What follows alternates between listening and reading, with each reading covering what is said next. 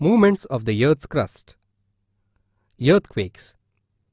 Any sudden movement of the Earth's surface is called as an earthquake.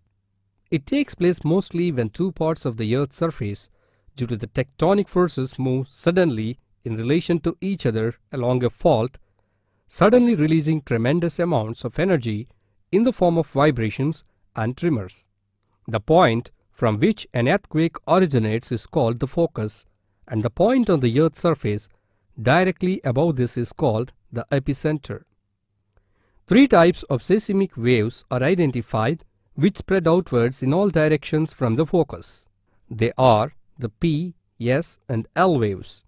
The compressional waves which travel 1.7 times faster than the shear waves are the first ones to reach the earthquake recording station and hence the seismologist the branch of knowledge that deals with the study of earthquakes is called the seismologist refer to them as primary or P waves and the shear waves as secondary or S waves.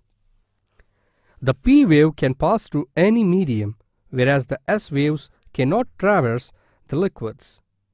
This knowledge has helped the scientist as an indirect evidence to know about the interior or the internal structure of the earth.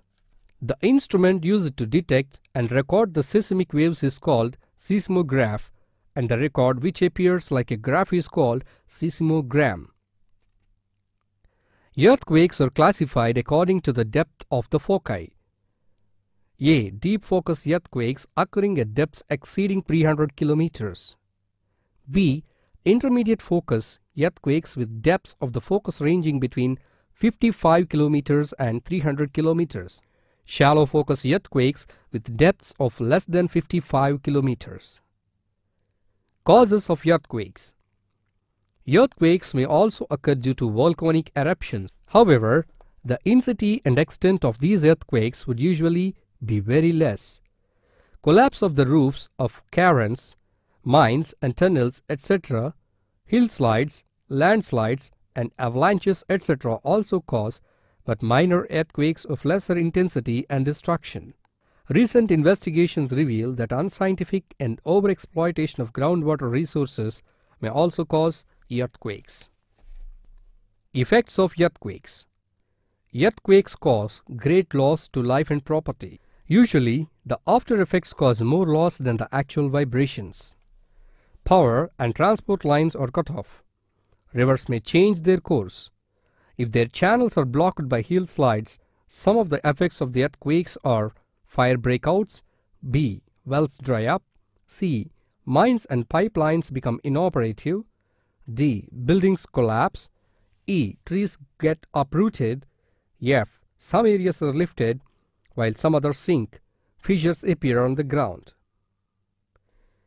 The number of lives claimed by earthquakes is unaccountable and the loss of property immeasurable during the thousands of years of human history. Distribution of earthquakes. It has been estimated that about a million earthquakes occur each year. Most of these are so minor that they pass unnoticed. Really violent earthquakes occur about once in every two weeks. Fortunately, most of these under the oceans. Volcanoes. It is a known fact as evidenced by the mine workers, the temperature and pressure increase with depth inside the earth crust. The outer layers of the earth consist of layers of rock containing different types of minerals. There are some minerals called the radioactive minerals such as radium, uranium, thorium, plutonium, etc. which continuously emanate heat. When they are present in the deep-seated rocks, the heat thus emitted get accumulated as a rock are bad conductors of heat. While the solid rocks are liquefied, water vapor and many other gases are released, which as there is no way to escape also occupy the same chamber along with the magma and exert great pressure upon it. As the excessive heat and pressure released, it solidifies again forming igneous rocks. Some magma is solidified along the passage to the earth's surface. This process is called volcanicity. There are two types of volcanic eruption, the central type and the fissure type. The central type of eruption. This type of eruption usually involves a single vent.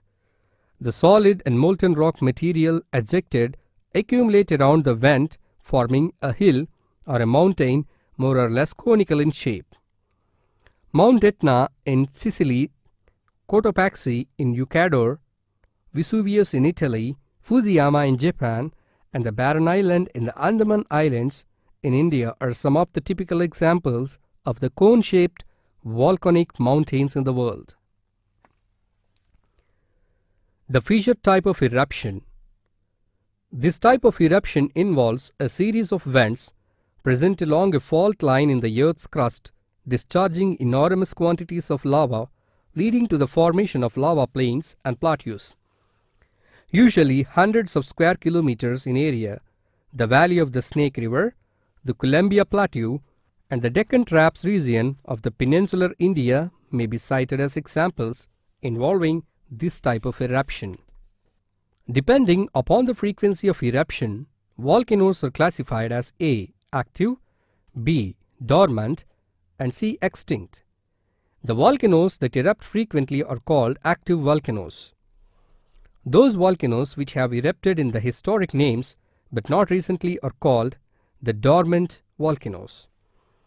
But even the volcanoes which are considered as extinct may surprise the scientists at any time by turning active suddenly.